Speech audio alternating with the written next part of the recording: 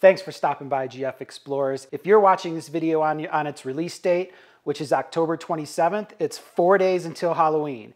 And we're having some people over for a get together and you're probably like us, you're trying to figure how can I quickly, efficiently, and easily feed a big group of people? The answer is a big party pan pizza.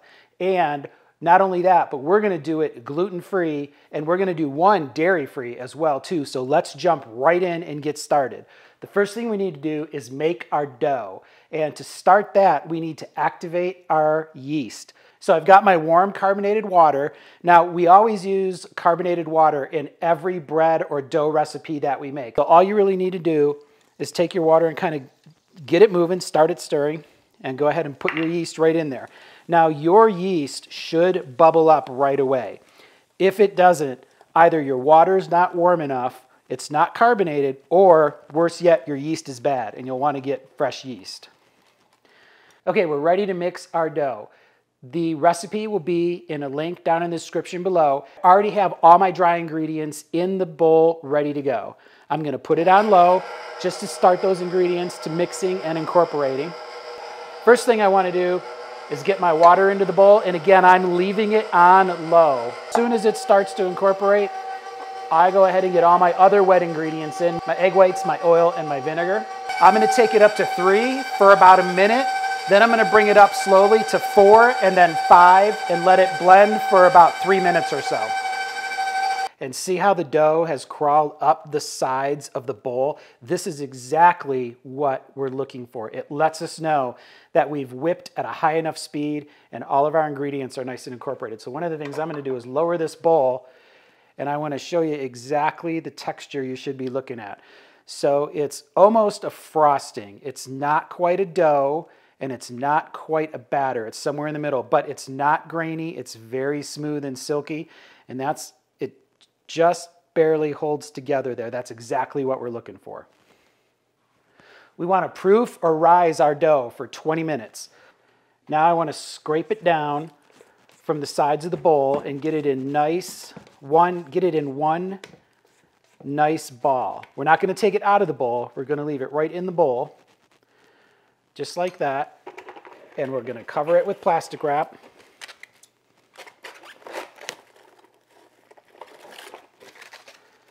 Seal it up. It doesn't have to be sealed up tight, but we wanna keep that moisture inside of there for sure. We're gonna take this, we're gonna put it on top the stove and use the residual heat coming off the stove that we preheated to 400 degrees.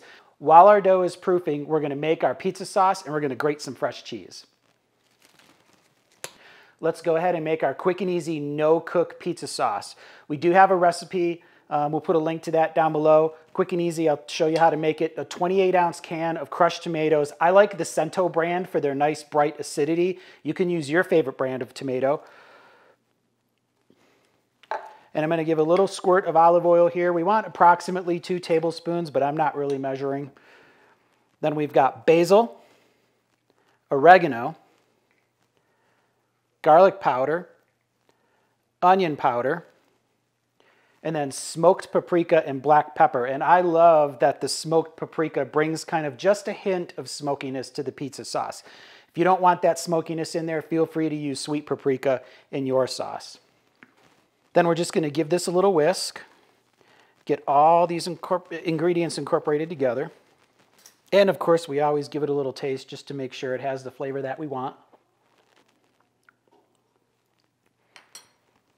Now, you can always add sugar as an optional ingredient to your sauce. I don't feel with these tomatoes that we need to cut down the acidity. I like the nice bright acidity, but you can always, if you feel the need, you can add a tablespoon of sugar to this to kind of bring up the sweetness level a little bit. All right, let's talk about cheese for a moment. Now you can buy pre-shredded cheese at your grocery store. I don't like doing that. It has anti-caking agents on it so the cheese doesn't clump together. And I feel like those anti-caking agents impede the meltability and the gooiness of the cheese. So I like to buy my mozzarella cheese in blocks and shred it myself. Now I've got two different styles of mozzarella here. I got the whole milk mozzarella for that ooey gooiness. And then I've got that part skim mozzarella for it's kind of for its meltability. So we're gonna get the best of both worlds. Now these two, when you combine them together, is often called a New York blend or an East Coast style blend of cheese. When you, and we're gonna do about 50-50, 50% of each cheese. So we're just gonna go ahead and shred right in the same bowl. And We're just gonna kind of eyeball it that we have approximately 50% of each cheese.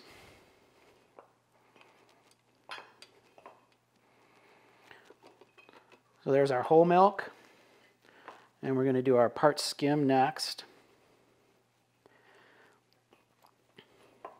And you can just see in the in the shredding difference here, the part skim's a little bit, a little bit drier than the whole milk.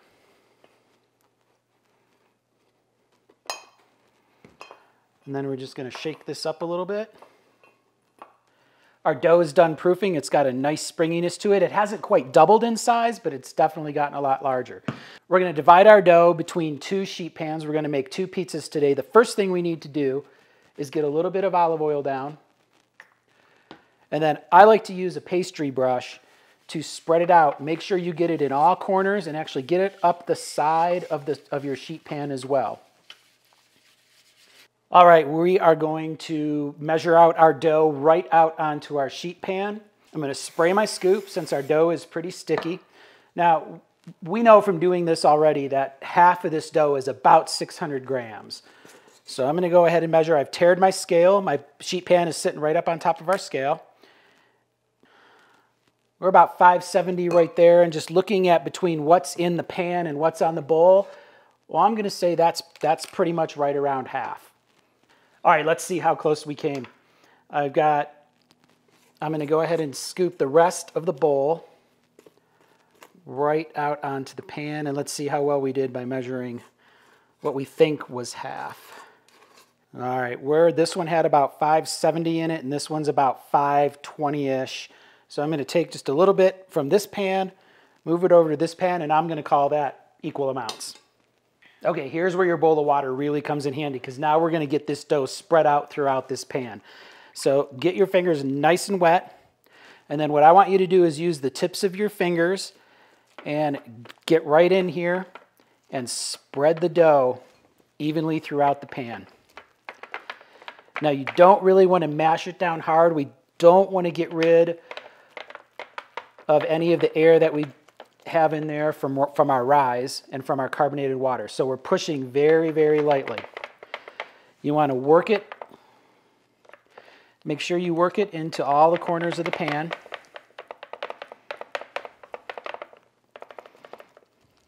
So now one of the things you want to look for, we've got it spread throughout our pan, but you want to look for high spots and low spots. Like I see I'm pretty low over here and I'm pretty high over here. So what I want to do is work the dough over because we want it nice and even and as much as possible. And if you noticed, I'm not flattening, flattening it out. I'm leaving kind of some pockets in there. And what, that, what those little pockets are going to do is be little pockets for the sauce as we sauce our pizza. So it doesn't have to be perfectly smooth. I like leaving those little dimples in there. And once again, being careful not to overwork the dough, but also make sure it's nice and level. I see kind of a high spot right here, so I'm just going to kind of work this out in this corner looks a little, little light. And I'm going to call this one good. So we're going to move this one over to our stove top, and we're going to let this proof for 10 minutes. Now we've got our next one and we're going to do the same exact thing with this one. We're going to keep our fingers nice and moist and using our fingertips we're just going to spread this dough over the entire pan. All right, I'm going to call this one good and it's going to join its partner right over here on the stove top. We're gonna let these sit for 10 minutes and then we're gonna par bake these before we can top our pizzas. Okay. All right, our dough is ready to go into the oven. Now I wanted to talk really briefly about par baking your crust. Most, in most normal situations, you take raw dough, you top your pizza and you bake it. Our gluten-free dough has a very, very high moisture content and it does really, really well to par baking and you just end up with a much better product. So if you wanna skip this step and risk baking your pizza on completely raw dough, we can't guarantee the results or what you'll get. But we're gonna par bake and our pizzas come out much better. So I'm gonna give this a very, very light coating of olive oil. And then these are gonna go in the oven 400 degrees for approximately 15 minutes. While the party pan pizza crusts are par baking in the oven, I'm going to take this opportunity to show you how to make my extremely versatile dairy-free pizza sauce. This sauce could probably go on any pizza and it is designed to add a creamy, almost a bit of a cheesy flavor to a pizza that's not going to have any cheese. I created this sauce for our calzones, which you can check out that recipe right up here. It was absolutely delicious. It's very, very easy. We start with some mayonnaise, which, of course, mayonnaise. Gotta love mayonnaise. And I'm gonna add some dairy-free uh, sour cream, Simple Truth uh, plant-based sour cream to be exact. And then some pizza sauce. Now this is our pizza sauce recipe. It's not a lot of pizza sauce I'm using, just a smidgen. Um, if you didn't make our recipe, you can use your favorite pizza sauce. Onion powder, oregano, and the what I'm going to call the secret ingredient, even though it's no secret, is, is nutritional yeast flakes. That is really going to bring a creamy, cheesy flavor to the sauce. And then I'm just going to mix it together. Like I said, it's very, very easy. Can whip it up in a few minutes. Okay, I already know it's going to need some salt and pepper, so I'll get some salt in there. A little pepper. Mix it up again. I just said again. Is that like a ganda and again? I don't know how I did why I did that. Okay, let's taste this. Mmm, I'm excited. Oh, that's perfect. It adds a much needed depth of flavor and umami and a nuttiness and a cheesiness from the nutritional yeast. And when it's combined with the ingredients that I'm putting on my pizza, oh, it is going to be fabulous. All right, our par baked crusts are out of the oven and you can see here we weren't going for a lot of color here. The objective wasn't to fully cook these. The one pizza here's got a little more color on it than the other. That's obviously this side of our oven is hotter than the other side. But these both look good. You can see they're both kind of shrinking up a little bit as they cool down, which is great for our cheese pizza because we're gonna put some cheese down along the sides of that pan to get some crispy edges.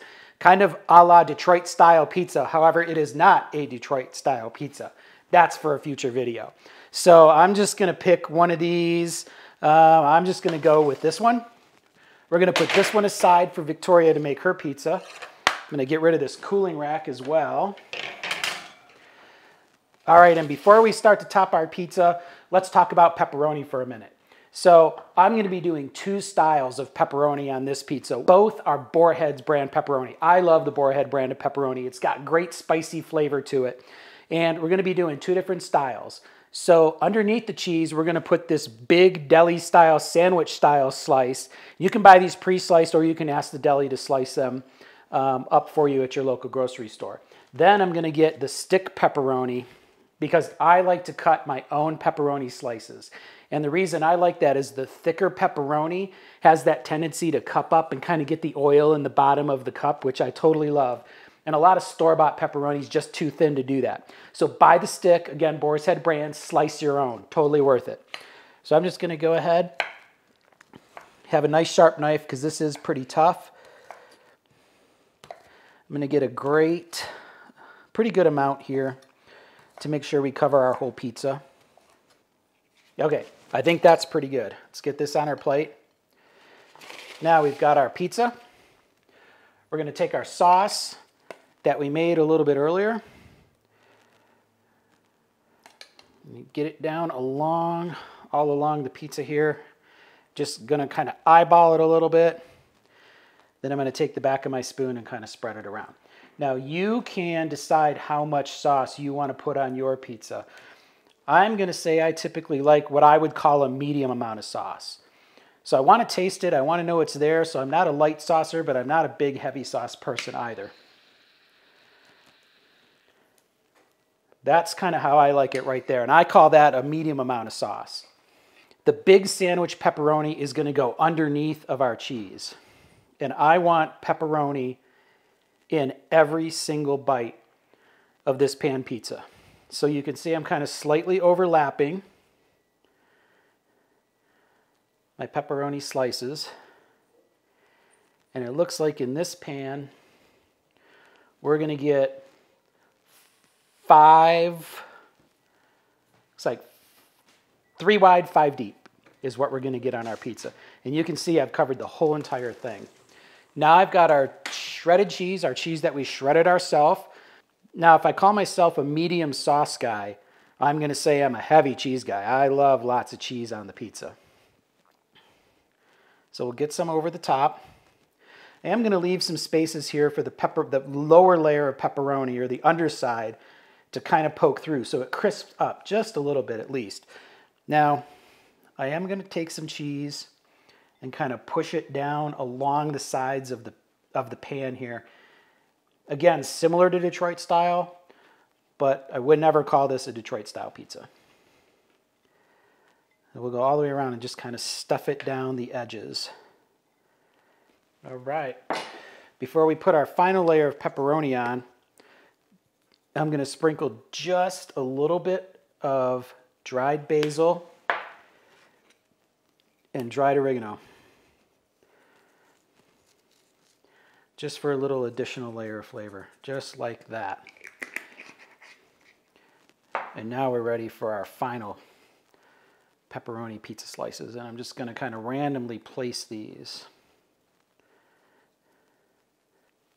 All right, there we go. That looks great. Now, I'm going to step away. Victoria's going to come in here and show you how to make and put together her delicious dairy-free pizza, and then they're going to go into the oven together for their final bake. Okay, it's time for the dairy-free pizza. Mine isn't quite as complicated as Rich, and I'll tell you, there are times when I look at him make a pizza like that, and I can't help but drool and wish that I could eat it too because the cheese looks so good. But mine is going to be so good, I'm not even going to care about that. So the first thing I'm to put down is the sauce we just made. And like Rich said, he's a medium saucer, and I usually am when it comes to pizza sauce. But when it comes to a creamy dairy-free sauce, I'm probably a heavy saucer. So use as much as, as or as little as you would like on your pizza. Mine's gonna look pretty, pretty darn heavy, I'm not gonna lie. So, because I, I don't have any cheese. I need, I need the, all the creaminess I can get. Okay, that looks, that looks pretty heavy. I am going with Italian sausage and veggies. So the next thing I'm going to put down is the Italian sausage. I'm going to get a pretty fairly thick layer of this as well. This, this is going to bring much needed um, flavor, umami to um, the pizza. And it appears that I did not get enough. Wait right there. There's always more. At least in this house, there's always more.